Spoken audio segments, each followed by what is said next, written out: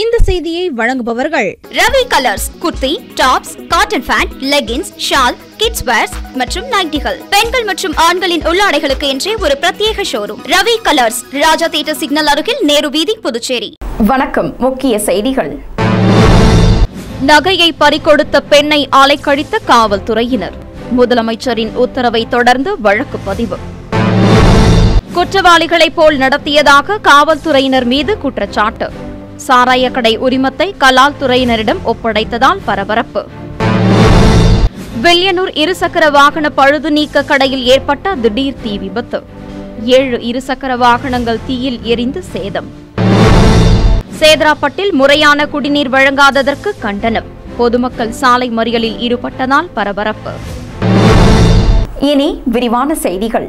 புதுச்சேரியில் பேருந்தில் நகையை பறிகொடுத்த பெண்ணை காவல்துறையினர் அலைக்கழித்த நிலையில் முதலமைச்சர் ரங்கசாமியின் உத்தரவின் பேரில் உருளையன்பேட்டை காவல்துறையினர் வழக்கு பதிவு செய்து விசாரணை மேற்கொண்டு வருகின்றனர். புதுச்சேரி உருளையன்பேட்டை கோவிந்த சாலை புதுநகர் கண்டாக்டர் தோட்டத்தை சேர்ந்தவர் சலீம்.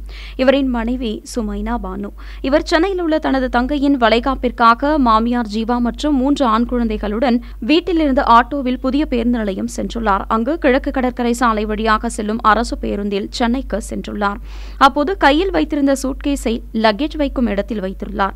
அந்த சூட்கேஸில் இருபத்தைந்து பவுண்ட் நகை பணம் இருந்துள்ளது. பேருந்து காலாப்பட்டு பிள்ளைச்சாவடி அருகே செல்லும் போது சூட்கேஸை காணவில்லை. இதனால் கூச்சலிட்டு மாமியார் மருமகள் ஆகியோர் பேருந்தை நிறுத்தியுள்ளனர். தொடர்ந்து நடத்துனர் பேருந்தில் இருந்து யாரையும் இறங்க விடாமல் காலாப்பட்டு காவல் நிலையம் கொண்டு சென்றார். அங்கு பயணிகளை சோதித்த போது சூட்கேஸ் கிடைக்கவில்லை.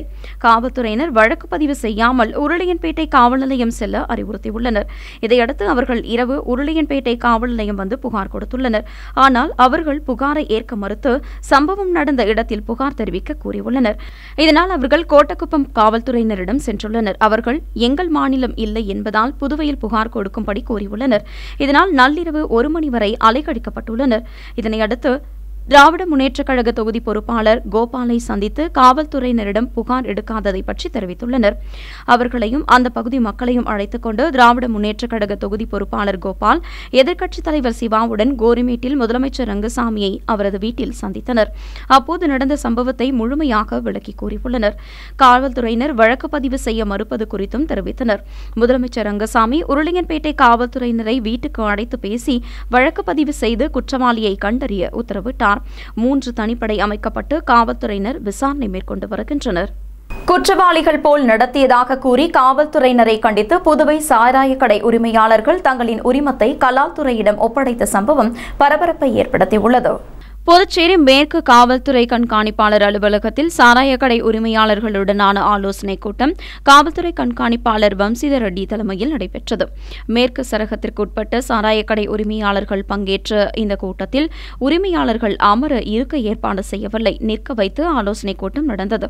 மேலும் அளவுக்கு அதிகமாக சாராயம் விற்றாலும் இரவு பத்து மணியை தாண்டி விற்பனை நடந்தாலும் தமிழகத்திற்கு யாரேனும் சாராயம் கடத்தி சென்று அங்கு வழக்கில் சிக்கினால் அவர்களுக்கு சாராயம் விற்ற கடை உரிமையாளர் மீது குண்டாஸ் வழக்கு பதிவு செய்வோம் என எச்சரித்தார்.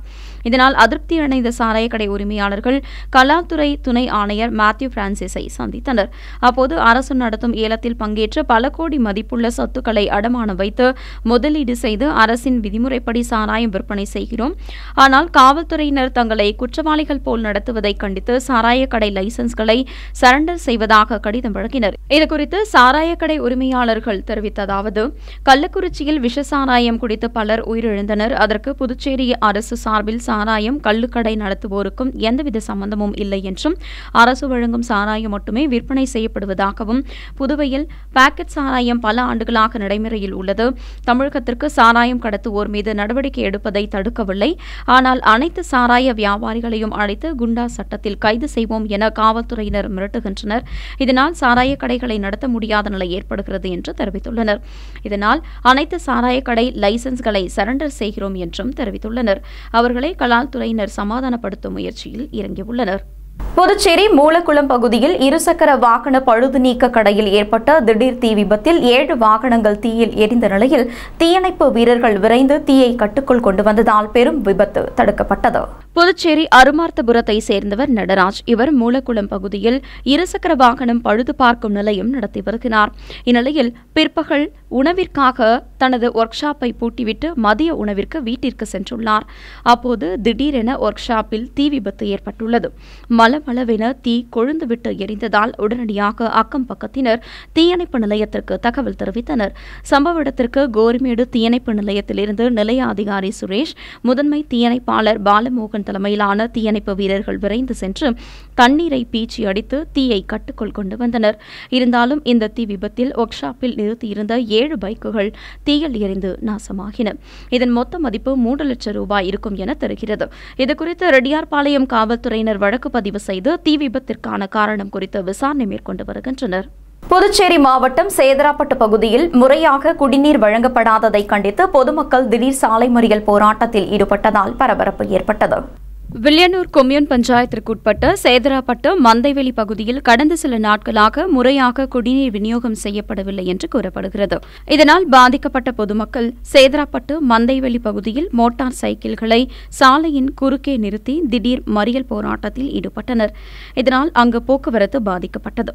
தகவல் அறிந்த சேதராப்பட்டு காவல்துறையினர் அங்கு விரைந்து சென்று மறியலில் ஈடுபட்டவர்களிடம் பேச்சுவார்த்தை நடத்த முயன்றனர். இதற்கு அவர்கள் மறுப்பு தெரிவித்ததுடன் காவல்துறையினருடன் வாக்குவாதம் செய்தனர். இதனால் அங்கு மேலும் பரபரப்பு ஏற்பட்டது. இதையடுத்து காவல்துறை துணை ஆய்வாளர் ராஜேஷ் அங்கு சென்று பொதுமக்களிடம் பேச்சுவார்த்தை நடத்தி குடிநீர் பிரச்சினை தொடர்பாக கொம்யூன் பஞ்சாயத்து ஆணையருக்கு தகவல் தெரிவிக்கப்படும் என்று உறுதியளித்தார். அதன் அடிப்படையில் பொதுமக்கள் மறியலை கைவிட்டு கலைந்து சென்றனர். இதனால் சேதராப்பட்டு மந்தைவெளி பகுதியில் சுமார் ஒரு மணி நேரத்திற்கு மேலாக போக்குவரத்து பாதிக்கப்பட்டது. புதுச்சேரியை சேர்ந்த இளைஞரிடம் அரசு வேலை வாங்கித் தருவதாக கூறி இருபது லட்சம் ரூபாய் மோசடி செய்த நபரை காவல்துறையினர் வலைவீசி தேடி வருகின்றனர். புதுச்சேரி கோரிமேடு அருகே சஞ்சீவி நகரை சேர்ந்தவர் கணேஷ். இவரிடம் சேலத்தை சேர்ந்த கார்த்திக் என்பவர் கடந்த சில மாதங்களுக்கு முன்பு பழக்கமாக்கியுள்ளார். அவர் தமிழகத்தில் அரசு உயர் அதிகாரிகள் பலர் தனக்கு நன்கு தெரியும் என்றும் அவர்கள் மூலம் தமிழகத்தில் அரசு வேலை வாங்கித் தருவதாக கணேஷிடம் ஆசை வார்த்தை கூறியுள்ளார். மேலும் தமிழக அரசின் முத்திரை பதித்த சில போலி ஆவணங்களை கணேஷிடம் காண்பித்துள்ளார். தமிழகத்தின் வேளாண் துறையில் காலி பணியிடம் உள்ளது. அங்கு வேலை வாங்கி தருவதாக கணேஷிடம் கார்த்திக் தெரிவித்துள்ளார். இதனை நம்பி கணேஷ் பத்தொன்பது லட்சத்து எழுபத்தி ஒன்பதாயிரத்தை கார்த்திக்கிடம் கொடுத்துள்ளார். ஆனால் பணம் பெற்றுக்கொண்டு பல மாதங்களாகியும் கார்த்திக் அரசு வேலை வாங்கி தரவில்லை என்று கூறப்படுகிறது. இதனால் பண மோசடி செய்யப்பட்டதை அறிந்த கணேஷ் இதுகுறித்து கோரிமேடு காவல் நிலையத்தில் புகார் அளித்தார். காவல்துறையினர் வழக்கு பதிவு செய்து விசாரணை மேற்கொண்டு வருகின்றனர். மேலும் கார்த்திக்கை பிடிக்க தனிப்படை காவல்துறையினர் சேலம் விரைந்துள்ளனர். தீபாவளி பண்டிகையை முன்னிட்டு புதுச்சேரியில் தற்காலிகமாக பட்டாசு கடைகள் வைக்க விரும்புவோர் ஆகஸ்ட் பதினான்காம் தேதிக்குள் விண்ணப்பிக்கலாம் என மாவட்ட நிர்வாகம் சார்பில் தெரிவிக்கப்பட்டுள்ளது. புதுச்சேரி மாவட்ட ஆட்சியர் குலோத்துங்கன் வெளியிட்டுள்ள செய்திக்குறிப்பில் தீபாவளி பண்டிகையை முன்னிட்டு புதுச்சேரி மற்றும் ஏனாம் பகுதிகளில் தற்காலிக பட்டாசு கடை அமைக்க விரும்புவோர் புதுச்சேரி பேட்டையன் சத்திரம் வழுதாவூர் சாலையில் உள்ள மாவட்ட ஆட்சியர் அலுவலகத்தில் வரும் ஆகஸ்ட் பதினான்காம் தேதி மாலை ஐந்து முப்பது மணிக்குள் விண்ணப்பிக்க வேண்டும் என்றும் மேலும் இடத்தின் பத்திரம் வாடகை இடமாக இருப்பின் அதன் வாடகை பத்திரம் பட்டாசு கடை வைக்க உரிமையாளரின் ஆட்சேபனை இல்லை என்ற நோட்டரி பத்திரம் மற்றும் மின் ரசீது தண்ணீர் ரசீது முகவரி மற்றும் அடையாள சான்றிதழ்கள் உள்ளிட்ட ஆவணங்களின் மூன்று நகல்களும் விண்ணப்பத்துடன் இணைக்கப்பட வேண்டும் என்று குறிப்பிடப்பட்டுள்ளது. புதுச்சேரி மடுகரை வெங்கட சுப்பரெட்டியார் அரசு பெண்கள் மேல்நிலைப் பள்ளியில் நடைபெற்ற மக்கள் குறைகேட்பு முகாமினை துணை சபாநாயகர் வெள்ளியனூர் துணை ஆட்சியர் ஆகியோர் நேரில் சென்று ஆய்வு மேற்கொண்டனர். நெட்டப்பாக்கம் தொகுதி மடுகரை வெங்கட சுப்பரெட்டியார் அரசு பெண்கள் மேல்நிலைப் பள்ளியில் மக்களை நோக்கி நிகழ்ச்சியின் மூலம் மக்கள் குறைகேட்பு முகாம் நடைபெற்றது. வில்லனூர் துணை ஆட்சியர் ஸ்ரீ சோமசேகர் அப்பாரு மற்றும் துணை சபாநாயகர் ராஜவேலு ஆகியோர் முகாமில் ஆய்வு மேற்கொண்டனர். தொடர்ந்து துறைகளின் பணிகள் குறித்தும் ஆய்வு செய்தனர். ஆட்சியர் பொதுமக்களிடமிருந்து மனுக்களை பெற்றுக் கொண்டார்.